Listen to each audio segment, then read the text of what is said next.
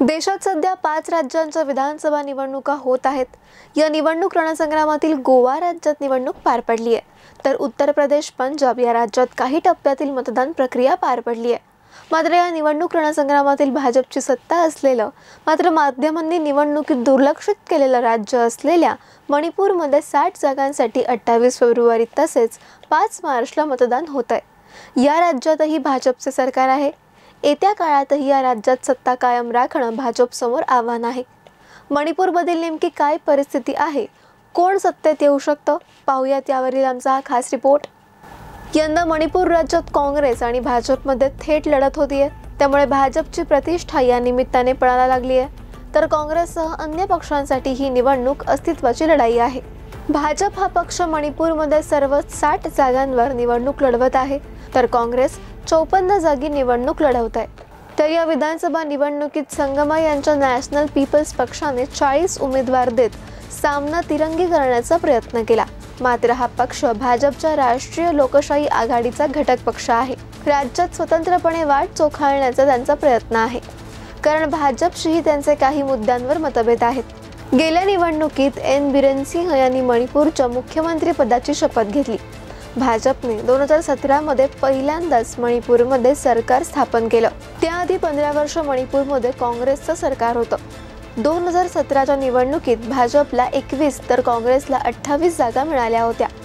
मात्र काँग्रेसला सरकार स्थापन करण्यात अपयश आलं. तसेच पक्षात मोठ्या प्रमाणात फूट पडली. त्यांच्या पंधरा आमदारांनी पक्षांतर केलं. त्यामुळंच फाटाफुटीची पार्श्वभूमी असल्यामुळे गोव्याप्रमाणे मणिपूरमध्येही काँग्रेसने उमेदवारांकडून एकनिष्ठ राहण्याची शपथ घेतली. भाजप आणि काँग्रेसमध्ये चुरशीची लढत होत असतानाच बिहारचे मुख्यमंत्री नितीश कुमार यांच्या संयुक्त जनता दलाने राज्यात एकोणचाळीस उमेदवार उभे केले. त्यातील बहुसंख्य पक्षांतर केलेले आहेत. शिवसेना तसेच रिपब्लिकन पक्षाच्या आठवले गटानेही मणिपूरमध्ये आपले उमेदवार उभे केले.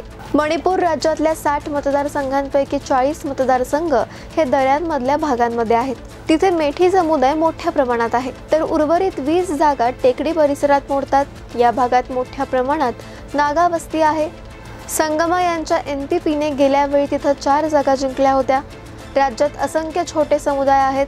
त्यांची संस्कृती भिन्न आहे. त्यामुळे राजकारणात त्यांचे प्रतिबिंब पडते. मतदारसंघही लहान आहे त्यामुळे छोट्या पक्षांना महत्त्व येते. निधीसाठी ईशान्येकडील राज्य मोठ्या प्रमाणात केंद्रावर अवलंबून असल्याचं चित्र अनेकदा दिसतं.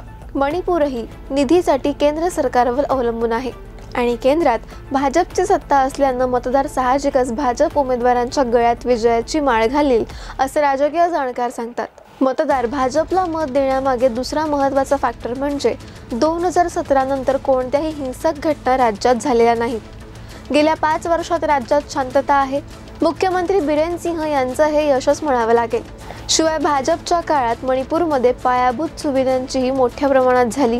राज्यातील शांतता आणि पायाभूत विकासाची कामे यंदा भाजपच्या पथ्यावर पडणार आहे असा विश्वास अनेकांनी व्यक्त केला. मात्र भाजपचे जरी जास्त उमेदवार निवडून आले तरी ईशान्येकडील राज्यात पक्षांतरे मोठ्या प्रमाणात होतात.